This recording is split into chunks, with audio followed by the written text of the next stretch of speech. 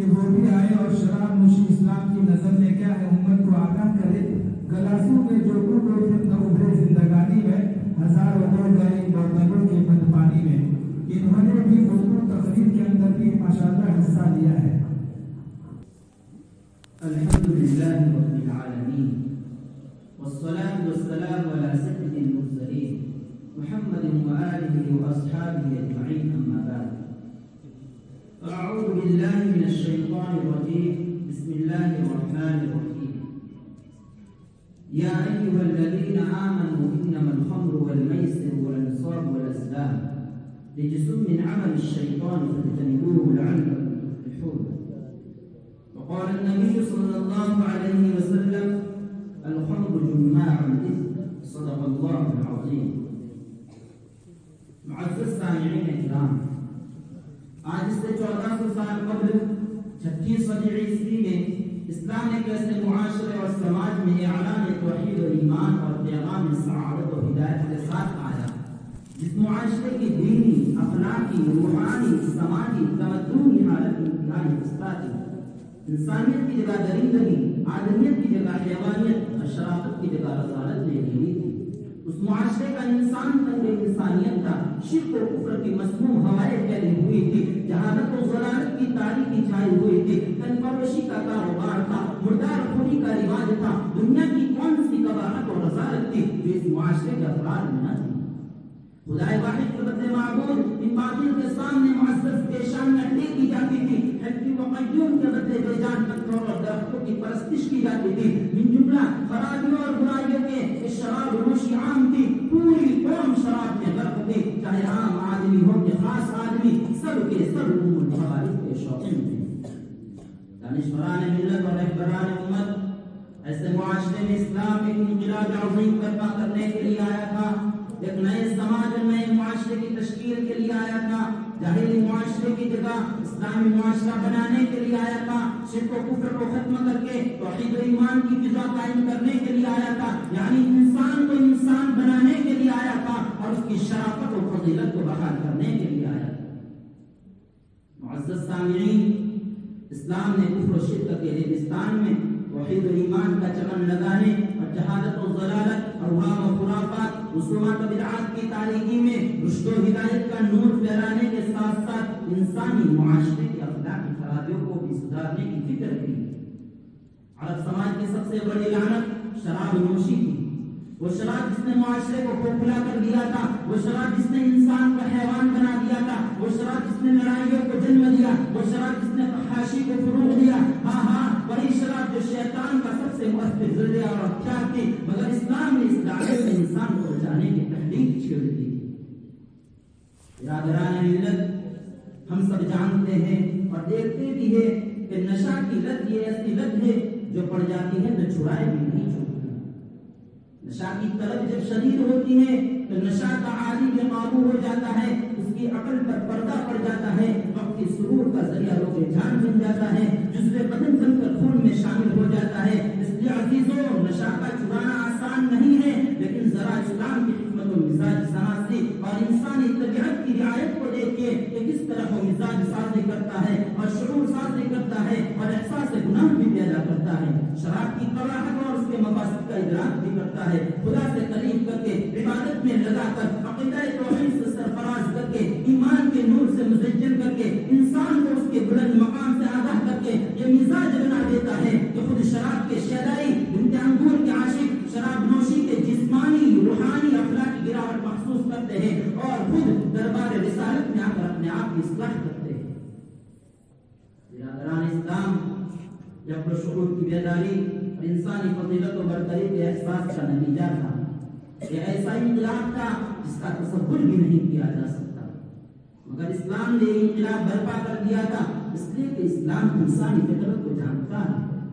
ذرا حکیمان انداز اور مدبرانہ اسلوب اصلاح دیکھیے منع نہیں کیا جا رہا ہے، روکا بھی نہیں جا رہا۔ مگر شراب و جوئے کے مقاصد کو قرآن کریم نے منہ کہہ کر بیان فرما دیا۔ ہاں ہاں یہ بات سچ ہے کہ شراب کے وقت محدود منافع بھی ہیں شراب پینے والا وقتی طور پر غم دنیا سے بے نیاز ہو کر اپنے آپ کو بادشاہ وقت گمان کرنے لگتا ہے، لیکن شراب اس سے اپنے خلق کو چھین لیتی ہے جو حقیقت میں انسانی فضیلت کا معیار اور انسانی امتیاز کا نشان ہے۔ عقل ہی تو معرفت حق اور خود شناسی کا ذریعہ ہے، لیکن شراب اس کو عقل سے بیگانہ کر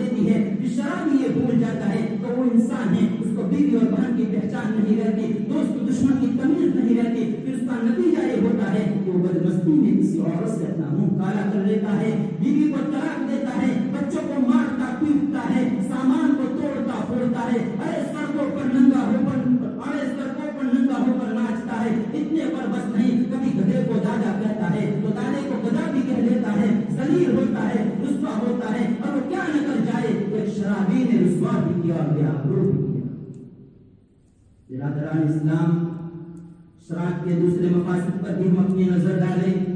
کہ شراب انسان کے جسم کو کھوکھلا کر دیتی ہے آنکھوں میں سوزش کر دیتی ہے پھیپڑوں میں سوراخ کر دیتی ہے۔ چہرے کی رونق کو چھین لیتی ہے۔ ایک ڈاکٹر کا کہنا ہے کہ شراب کا عادی، شراب کو مسلسل پینے والا چالیس سال کی عمر میں ساٹھ سال کا معلوم ہوتا ہے۔ برادران اسلام اسلام کا کتنا عظیم احسان ہے اس نے ہر قسم کے نشہ کی معمولی و کثیر مقدار کو حرام کر دیا۔ کیونکہ یہ نسل انسان کو برباد کر دیتی ہے۔ وہ انسان جو اشرف المخلوقات ہے، وہ انسان جو سب سے خوبصورت و معزز ہے، وہ انسان جس کے لیے شمس و قمر اور بحر و بر کو مسخر کیا گیا، وہ انسان جس کے سر پر تاج خلافت رکھا گیا، وہ انسان جس کو عبادت و بندگی کے لیے پیدا کیا گیا۔ کیا انسان اتنا حقیر ہے کہ ایک شراب کی وجہ سے اپنی و فضائل کو گوا دے اور حیوان بن جائے۔ نہیں نہیں، ہرگز نہیں۔ اس لیے تو اسلام مزاج سازی ذہن سازی اور شروع کو بیدار کرنے کے بعد سب سے پہلے نماز میں شراب پی کر جانے سے منع کیا گیا کیونکہ نماز مقام بندگی ہے، نماز مفتاح جنت ہے، نماز معراج مومن ہے۔ اس لیے اس میں اپنے ہوش و حواس کو قائم رکھو، کہیں بے ادبی کا ارتکاب کر نہ بیٹھو۔ حکم آیا، یا ایھا الذین آمنوا، لا تقربوا الصلاة ایمان والو تم نشہ کی حالت میں نماز کے قریب بھی مت ہو۔ عزیزو، یہ تو حرمت کا پہلا مرحلہ تھا۔ پھر کچھ عرصہ، پھر کچھ عرصہ کے بعد جب ایمان اور پختگی آ گئی ابدیت اور نکل گئی، تو اللہ تعالیٰ نے صاف صاف اعلان فرما دیا، یا ایھا الذین آمنوا انما الخمر والمیسر والانصاب والازلام رجس من عمل الشیطان فاجتنبوه لعلکم تفلحون۔